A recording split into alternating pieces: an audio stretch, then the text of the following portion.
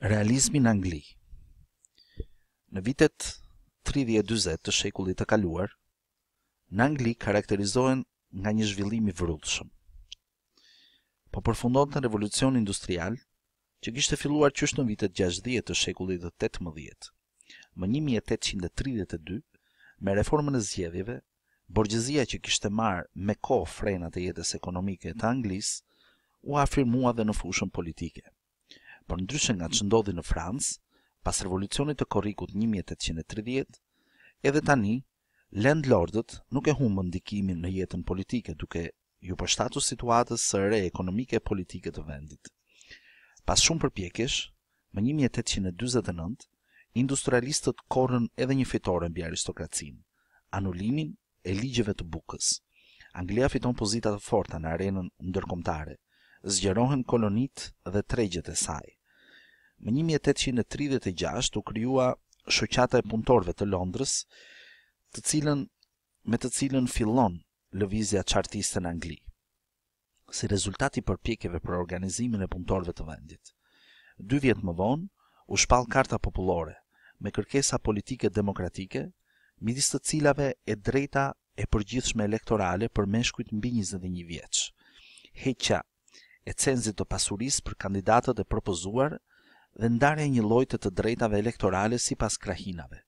Prej këtej vjen dhe fjala çartizëm, nga charter, pra në anglisht do të thotë kartë. Për një kohë të gjatë, Lëvizja Popullore shkoi dorë për dore me lëvizjen e mikroborgjezisë. Në fillim, me të u bashkuan edhe përfaqësues të borgjezisë së mesme.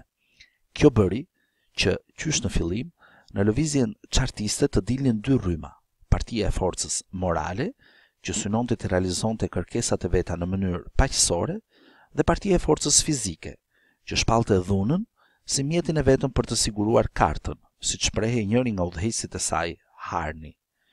Nga viti një mijë e tetëqind e dyzet e gjashtë deri më një mijë e tetëqind e dyzet e tetë, çartizmi arriti kulmin e vet. Ndërkohë, mikroborgjezia u largua prej tij. Pas vitit një mijë e tetëqind e dyzet e tetë, lëvizja çartiste filloi të bjerë dhe, në mesin e viteve pesëdhjetë, ajo shuhet. Reagim negativ ngjalli në qarqet e shkrimtarëve propagandimi i librit të Malthusit, Përvojë mbi popullsinë, botuar në vitet e fundit të shekullit të tetëmbëdhjetë. ku ai shkruante se popullsia shtohej në progresion gjeometrik, ndërsa të mirat materiale në progresion aritmetik. Filozofët e historianët John Stuart Milli, Benthami dhe Mekoli argumentonin arritjet e qytetërimit dhe qëndrueshmërinë e shoqërisë bashkëkohëse.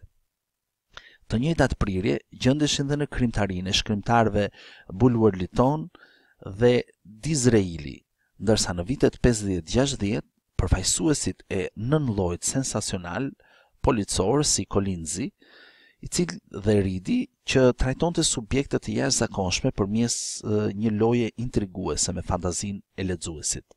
Ndërkohë filozofia pozitiviste do të fillojë të lerë gjurmët e veta, në mënyrën e pasqyrimit të jetës nga disa romancierë të njohur të kohës, si Xhorxh Elioti, dhe të ketë një përhapje të gjerë të ashtuquajturës poezi viktoriane, ku hyn krijimtaria e poetëve si Alfred Tenisoni dhe Robert Browningu, si dhe Elizabeth Barrett Browningu. dhe përshkrohet nga motive të një romantizmi të vonë. Realizmi në Angli filloi ekzistencën e vet me skicat dhe romanet e para të Dickensit dhe me skicat dhe paroditë e mprehta të Thackerit.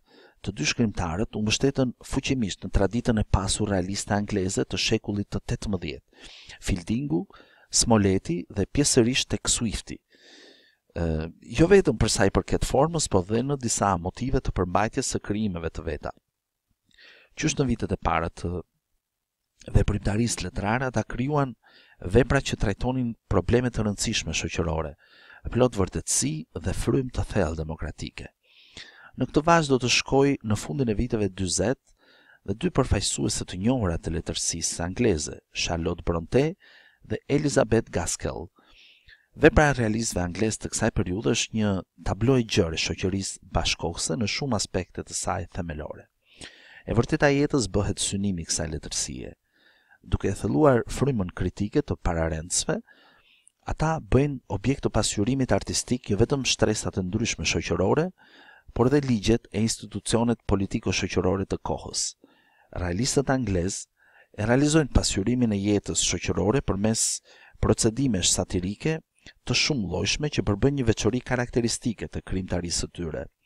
Satirën me të gjitha nuancat e saj e përdorin për të pasqyruar dhe dënuar etjen për para, kur kalon deri në mohimin e ndjenjave më të mira njerëzore, moralin dhe mendësinë egoiste dhe paragjykimet e mykura. Në disa nga veprat e tyre ato parodizojnë padrejtësinë njerëzore, herë drejt për së drejti dhe herë në figura protagonistësh e personazhesh të shumtë. Karakteristika e realizmit anglez të kësaj periudhe Është interesi i posaçëm që tregojnë shumica e përfaqësuesve të tij të shquar për jetën e njerëzve të thjeshtë. Në përgjithësi, pikërisht tek njerëzit e thjeshtë ata gjejnë ndjenjat e pastra, mendimet humanitare dhe qëndrueshmërinë e karakterit. Në këto raste, satira e zemëruar ia lë vendin humorit të gëzueshëm që ndërthuret me variacionet e pasura të patetikës. Ata janë të ndjeshëm ndaj vuajtjeve të këtyre njerëzve por që janë të varfër por të ndershëm, dhe ngrihen në mbrojtje të dinjitetit të tyre, i paraqesin si shembuj virtyti dhe ua kundërvënë tipave të panumërt të keqbërësve që dalin gjithandej në këtë krijimtari. Si të gjithë realistët, ata japin një rëndësi të veçantë faktorit moral si rrugë për përparimin e shoqërisë njerëzore. zhvillimin shoqëror e shohin si fitore të së mirës mbi të keqen. Kjo kushtëzon ato elemente të romantizmit dhe perceptime sentimentaliste që nxjerrin kryet jo rrallë në krijimet e tyre.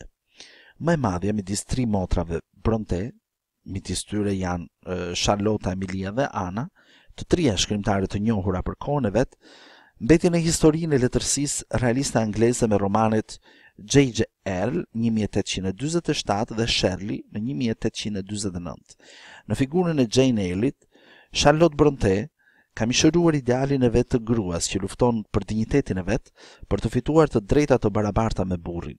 Heroina, në romanin e Brontes, si rrugë për të ruajtur dinjitetin, si njeri ajo sheh punën, ajo është e drejtë, e dhembshur dhe revoltohet kundër gënjeshtrës dhe arbitraritetit. Krenaria dhe ndjeshmëria e bëjnë të ndahet nga Rochesteri, megjithëse e dashuronte atë. Nga rrethi i interesave të veta, ajo ngrihet mbi parinë, të cilës i kundërvihet me vendosmëri, por përpjekjet e saj kufizohen në sferën e interesave vetjake. Për më tepër, ajo si gjithë heronjtë e Charlotte Brontes, hyn e vetmuar në këtë luftë me konvencionet shoqërore. Gjithsesi, protesta energjike, kritika e mprehtë e sistemit arsimor dhe e shërbyesve të fesë, e vënë këtë vepër në radhë të parë të krijimeve më të mira të prozës artistike të asaj kohe. Elizabeth Gaskelli në romanin Mary Barton 1848 pasqyron jetën e mjeruar të punëtorëve të Manchesterit në vitet 40 të shekullit të nëntëmbëdhjetë, në një kohë kur lëvizja çartiste ishte në kulmin e zhvillimit të vet. Të gjithë personazhet e romanit polarizohen në dy grupe kundërshtare. dhe kjo ndarje bëhet në bazë të përkatësisë së tyre shoqërore. Sikurse tek Shirley, kjo kundërvënie shihet edhe në planin moral.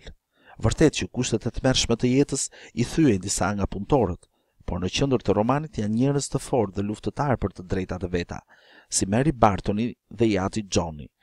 Midis tyre ka njerëz të talentuar, por që nuk mund t'i zhvillojnë aftësitë e veta në kushtet ku jetojnë. Megjithatë, atmosfera e luftës politike në roman elektrizohet në kulm, shkrimtarja i jep konfliktit një zgjidhje pajtimi, në frymën e humanizmit kristian. Ajo shpreson në triumfin e vetive më të mira njerëzore.